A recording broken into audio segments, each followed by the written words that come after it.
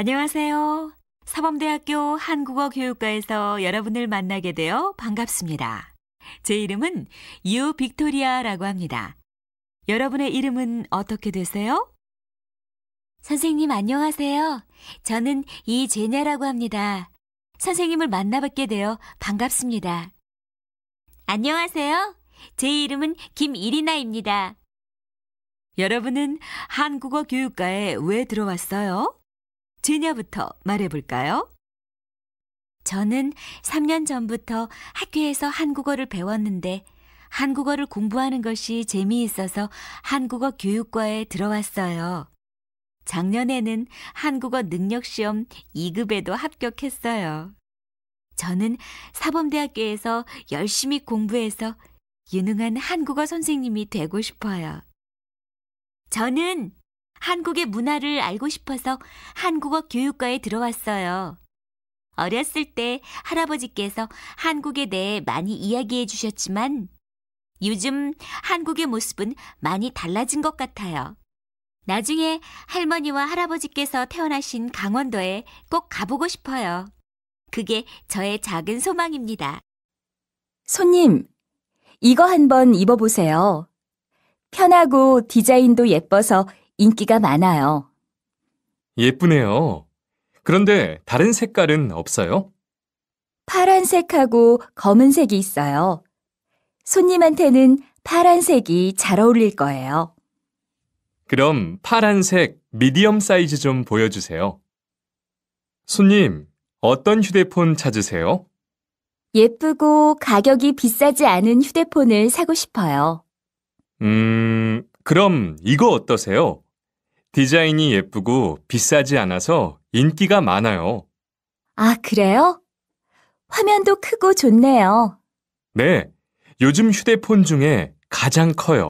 유진 씨, 김치찌개 만들 수 있어요? 그럼요. 왜요?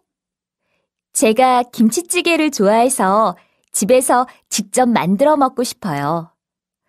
그래요? 그럼 먼저 김치를 볶은 후에 물을 넣고 10분 정도 끓여요. 그리고 고기, 두부, 양파를 넣고 조금 더 끓이세요. 생각보다 쉽네요. 한국 사람들은 생일에 왜 미역국을 먹어요? 한국에서는 엄마들이 아이를 낳고 미역국을 먹어요. 그래서 미역국이 생일날 먹는 음식이 되었어요. 중국에서는 생일날 먹는 음식 있어요? 중국 사람들은 생일에 보통 국수를 먹어요. 빌리 씨는 취미가 뭐예요? 저는 운동을 좋아해요. 요즘은 수영을 배우고 있는데 아주 재미있어요. 리사 씨는요? 저는 특별한 취미는 없어요. 음악 듣는 걸 좋아하고, 음, 가끔 요리를 해서 친구들과 같이 먹는 게 제 취미예요. 드라마 촬영이 끝나고 시간이 날 때는 뭘 하세요? 제 취미가 사진 찍기예요. 그래서 시간 날 때마다 사진을 찍으러 나가요. 요즘은 사진 동호회 친구들과 여기저기 사진을 찍으러 다녀요. 비싸고 좋은 카메라가 많으시겠네요. 아니에요.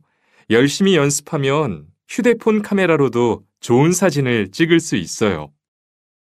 칸, 아까 지은 씨 표정이 많이 안 좋더라. 그러게 말이야. 친하다고 생각해서 한 얘긴데 지은 씨가 화를 내서 나도 깜짝 놀랐어. 그런데 농담이라도 상대방이 불쾌감이나 수치심을 느꼈다면 성희롱이 될 수 있다고 들었어. 정말? 그런 의도는 아니었는데. 나는 칸을 잘 아니까 괜찮지만 다른 사람들은 오해할 수 있어. 성적 농담은 아주 예민한 문제잖아. 앞으로는 정말 조심해야겠다. 칸, 아까 지은 씨 표정이 많이 안 좋더라. 그러게 말이야. 친하다고 생각해서 한 얘긴데 지은 씨가 화를 내서 나도 깜짝 놀랐어. 그런데 농담이라도 상대방이 불쾌감이나 수치심을 느꼈다면 성희롱이 될 수 있다고 들었어. 정말? 그런 의도는 아니었는데. 나는 칸을 잘 아니까 괜찮지만 다른 사람들은 오해할 수 있어. 성적 농담은 아주 예민한 문제잖아. 앞으로는 정말 조심해야겠다. 망치가 아무리 찾아도 없네.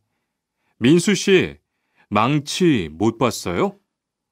공구함에 있을 거예요. 찾아보세요. 공구함에 없어서요. 못을 좀 박아야 하는데. 어디 좀 봐요. 그거 나사못이네요. 나사못이라면 드라이버로 해보세요. 그게 더 편할 거예요. 자, 여기요. 어, 고마워요. 다 쓰면 공구함에 잘 넣으세요. 공장장님, 일찍 오셨네요. 네. 거래처에서 생각보다 일이 빨리 끝나서요.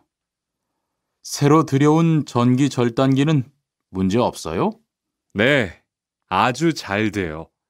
전에 쓰던 것보다 훨씬 부드럽고요. 그래도 위험하니까 조심해서 사용하세요. 아, 그런데 투안 씨, 괜찮으면 리안 씨한테 용접봉 좀 가져다 주세요. 아까부터 찾고 있었어요. 그래요? 지금 작업장에서 용접을 하고 있지요? 제가 얼른 가볼게요. 망치가 아무리 찾아도 없네. 민수 씨, 망치 못 봤어요? 공구함에 있을 거예요. 찾아보세요. 공구함에 없어서요. 못을 좀 박아야 하는데. 어디 좀 봐요. 그거 나사못이네요. 나사못이라면 드라이버로 해보세요. 그게 더 편할 거예요.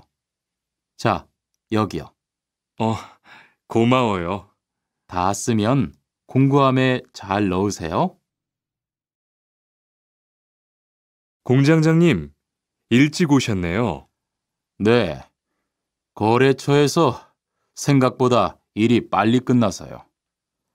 새로 들여온 전기 절단기는 문제 없어요? 네, 아주 잘 돼요. 전에 쓰던 것보다 훨씬 부드럽고요. 그래도 위험하니까 조심해서 사용하세요. 아, 그런데 투안 씨, 괜찮으면 리안 씨한테 용접봉 좀 가져다 주세요. 아까부터 찾고 있었어요. 그래요? 지금 작업장에서 용접을 하고 있지요? 제가 얼른 가볼게요.